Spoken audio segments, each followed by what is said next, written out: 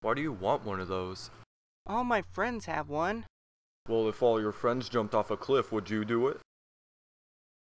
Why should I do this? Because it's tradition. Oh yeah? Well, if it was a tradition to jump off a cliff, would you do it? Hey Ben, have you ever built a fence while sunbathing and eating a pickle sideways? What kind of a stupid question is that? But yes. That must be huge gas in here. You can really smell it. I need a smoke. Don't like that stupid, there's a huge gas leak in here! Oh gee, thanks for calling me stupid. Jared, if you hadn't let that, this whole building would have burst into flames and we'd all be dead within seconds. And you're scolding me for calling you stupid?